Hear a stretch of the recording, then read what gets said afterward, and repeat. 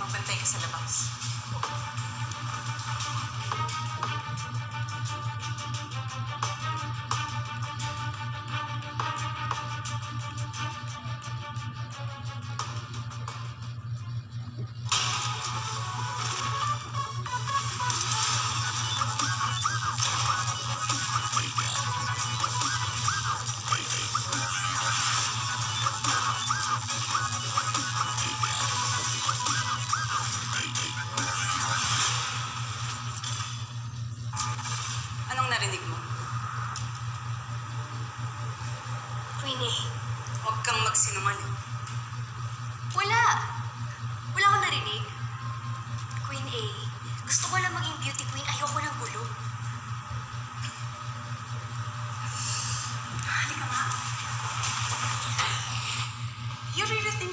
Ka sa eliminations? Tignan mo yung itsura mo. Kulang ka na sa height, sobra ka pa sa timbang. Grabe naman yun. Umayat naman ako. Please. Mas magaan ka lang ng 4 pounds kay Mia. Ano bang pinagmamalaki mo? Yan ba? Sorry pero hindi ka papasa. But, you're lucky have my secret weapon with me.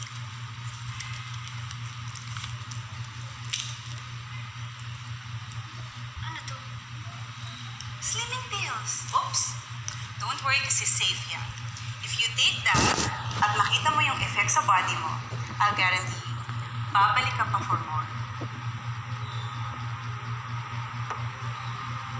Ma'am, di pa ulit kumukontak si Kit Kat. Busy na yun sa pageant activities. Ma'am, dapat ata sinamahan ko si Kit Kat. Maybe we shouldn't let her do that mission alone. Look, we do not want to attract attention by giving her an entourage. Kailangan gawin to ng mag-isa ni Bernardo. I'm just concerned about her, ma'am. I understand. But you have to learn to have faith on your fellow agent. Understand, Ocampo? Yes, ma'am.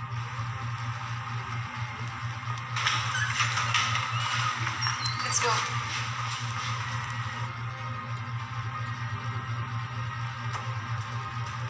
Ano ka bakit ka? Kursunado mo yata si Kit Kat kaya ako concerned eh. Kaibigan ko si Kit Kat, kaya ako concerned.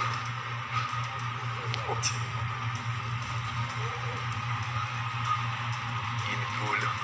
Good job, Oko. Unang araw mo pa lang sa pageant. Nakakuha ka ng lead. Salamat. Okay ka lang ba? Medyo masakit lang yung ulo ko. Hindi pa kasi ako nag-aalmusal eh. eh. Para naman magmukhang may epekto sa akin yung slimming pills, di ba? Alam mo, hindi ko inakalang ganito pa pala kahirap tong oh, assignment na to. Kasi di ba, beauty pageant, parang harmless ng tunog. Pero parang mas gusto ko pang mapaligiran at makipaghabulan sa mga masasamang loob. Kesa sa mga mapaligiran ako ng mga magaganda, matatangkad, sexy mga babae. Parang mas lalo ako nanliliit eh. Tumigil ka nga. Kit Kat, maganda ka. Okay? Talaga?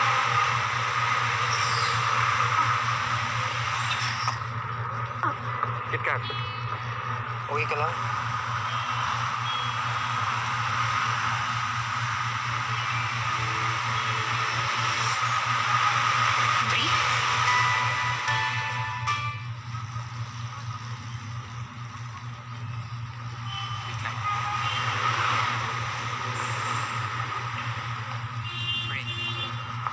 Gusto ko lang mag-sorry sa nangyari sa reception.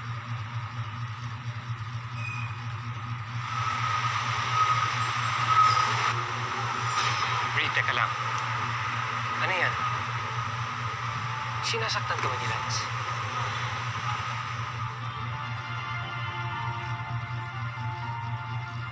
Of course not. Yan na naman kayo sa mga pagbibintang niyo eh. Sumama lang ako somewhere. Okay? Huwag kayong OA. me know if he hurts you. Ikaw ba ayaw mo talaga tigilan yung asawa ko?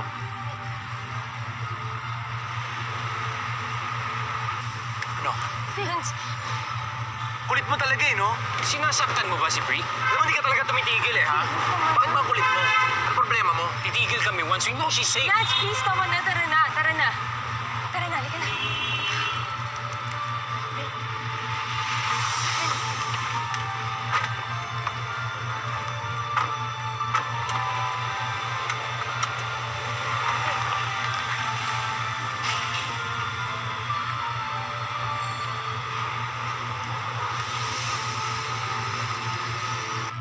Dapat talaga hindi ko na inalaw na sirain nila yung araw ko eh. Can't believe na iniisip nilang sinasaktan mo. Kaya mo na yun. Huwag naintindihan. Ang importante, alam naman natin yung totoo. That I would never hurt you.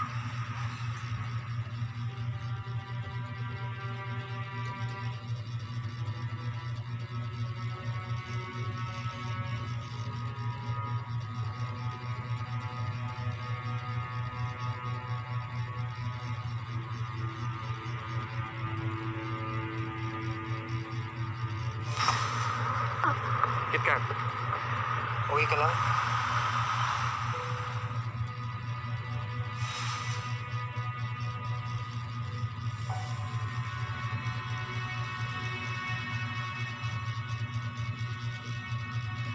Anong iniisip mo?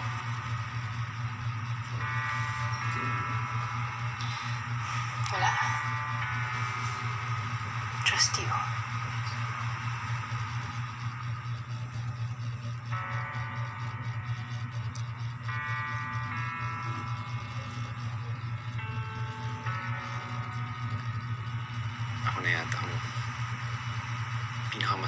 Asawa sa buong mundo.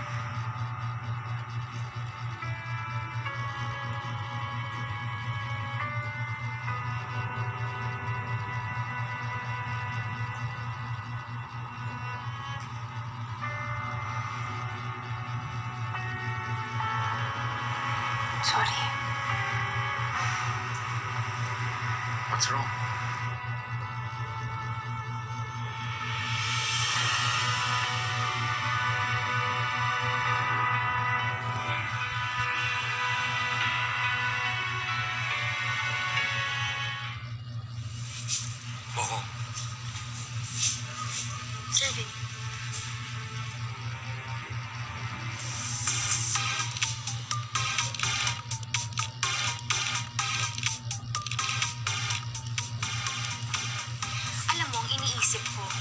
Hindi kaya involved yung Oliva Wellness Pharma na yun dun sa Slimming Pills.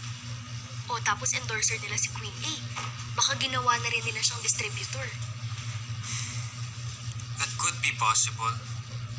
But the only way for us to find out is if we go to the pharma. Balita ko, may shoot daw dun sa factory nila yung top 12. So kailangan mo makapasok sa top 12. Agad-agad ha. Aba, pressure naman to si Sir Vin. Di naman. I just really believe in you, Kit Kat. Pinapatunayan mo na you're a really good agent. At kung pwede nga lang, i-request ko sana na ikaw ang maging partner ko sa future operations. Nambola ko siya. Oo na. Sige na. Tsaka kaya ko nga sinama yun si Mother Queen eh. Para may backup tayo. Para sure na carry natin yan. Hello, Hershey? Excited na ako. Tignan mo. Ganda ng sulat mo. Hi, Chef. Nay, Hershey! Ate, I got you. Ang ganda-ganda mo naman, anak. Tito, tita, Maganda, ano? Ay, ngayon lang? Siyempre, lagi naman anak. Kaya lang hindi kami sanay nakikita kang ganyan na nakaayos. Pero bagay na bagay pala sa'yo maging beauty queen. Ano ba? sabi nga po ni Kit Kat, mananalo siya mamaya. Nothing can stop her daw. Siyempre. Ganda. Ay, Si Mr. Oliva nandito na ba? Yes, Miranda.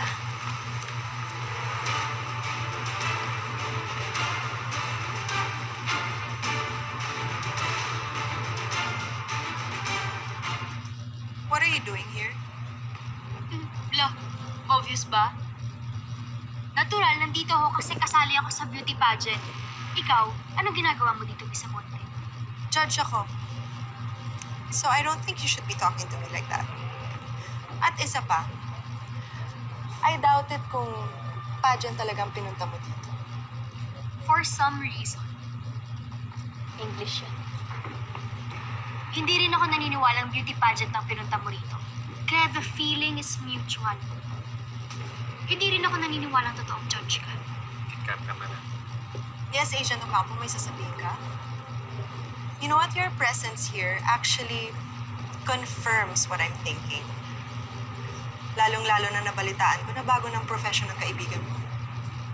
Bago nga, parlorista turned beauty queen. Alam mo, matagal ko na talagang pangarap yun, kaya lang medyo kinapos sa height eh. Pero ngayong may opportunity, oh, ready, go! Push! Ay, hindi nyo nga na itanong. Bata to si Kit Kat. Ginagawang gown yung mga kumot at kortina natin. Tapos nararampa dun sa sala, di ba? Magka-contest pa kami natin. At ako naman yung ginagawa nilang judge. Anyway, enough of this nonsense. Mark my words. As long as I'm on the panel, you won't make it uuwi kang lumaan.